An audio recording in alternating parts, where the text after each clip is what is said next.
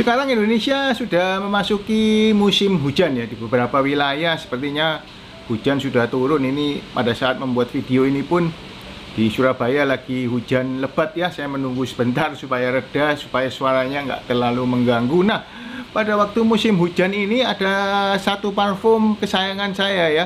Parfum yang sering saya pakai di musim hujan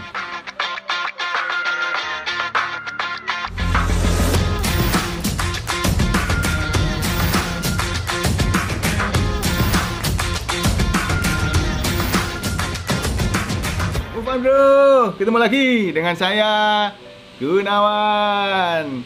Bagi teman-teman yang baru kenal channel ini, jangan lupa di subscribe ya channel ini sehingga kita bisa selalu terhubung dan bisa sama-sama wangi. Oke teman-teman, salah satu parfum kesukaan saya pada waktu musim hujan adalah Valentino Uomo Intense ini ya Nah, mungkin teman-teman udah pada tahu ya, ini ada antik juga nih tutupnya, ada semacam penguncinya, dilepas baru bisa di spray ya. Ini bagi teman-teman mungkin yang baru pertama kali Valentino Uomo Intense ini flankers dari Valentino Uomo pertama kali keluar pada tahun 2016 ya. Ini bed scootnya tadi 60892 mungkin kelihatan di sini. Kebetulan sekali ini ternyata bed pertama ini ya Valentino Uomo yang ada di tangan saya ini. Kenapa ya saya suka dengan parfum ini? Pastinya Valentino Uomo ini terinspirasi dari lini Dior Home ya. Baik yang Dior Home original maupun Dior Home Intense dan juga Dior Home Parfum ya. Jadi ini wanginya memang mirip-mirip dengan lini Dior Home. Nah, apa yang membedakan Valentino Uomo Intense ini dengan Dior Home? Ya, jadi memang Valentino Uomo Intense ini wanginya terinspirasi terutama oleh Dior Home, Dior Home Intense dan juga Dior Home Parfum. Nah, kalau kita lihat di pembukanya, di pembukanya itu ada orange dan juga iris ya. Irisnya terasa cuman memang orange-nya tidak seperti pada Dior Home Parfum ya. Ini aroma iris juga ada vanilanya ya yang yang terasa sekali. Memang parfum ini lebih manis ya dari lini Dior Home. Ada leadernya juga tapi ya leadernya agak susah ya mendeteknya ya. Woody note-nya juga ini didominasi dengan iris dan juga vanilla. Jadi manis ini baunya. Wanginya manis ya.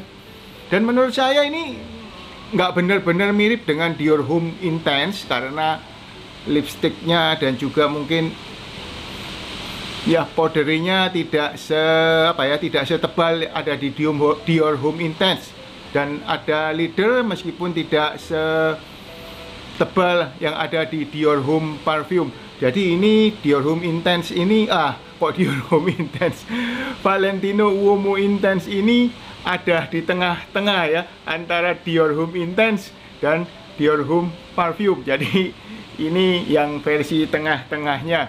Nah, menariknya parfum ini memang memberikan apa ya nuansa hangat ya enak dipakai pada waktu musim hujan dan harganya pun tidak semahal Dior Home Parfum ya. Ini apa ya?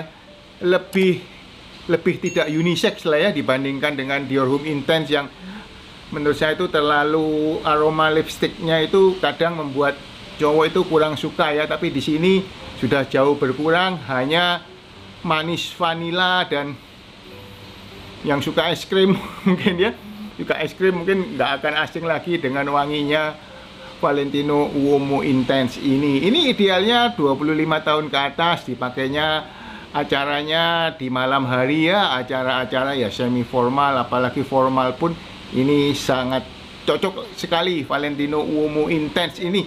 Dan ketahanan di tubuh apalagi yang menurut saya menonjol ini adalah di projectionnya ya pada waktu dia performa terbaik dan kalau kita spraynya pas di badan ini si pemakai akan menonjol ya. Jadi kalau ada beberapa orang di pertemuan atau apa sama-sama memakai parfum maka Valentino Uomo Intense ini akan menonjol wanginya ya meskipun tidak mengganggu. Nah ini adalah menurut saya parfum yang enak dipakai pada waktu musim hujan seperti sekarang ini.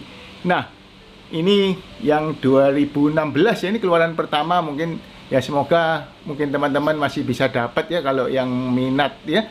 Nah itu teman-teman sekedar sharing saya. Tadi musim hujan saya ingat saya keluarkan parfum kesukaan saya di musim hujan Valentino Uomo Intense. Dan saya langsung berbagi ya dengan teman-teman di video ini. Oke move on bro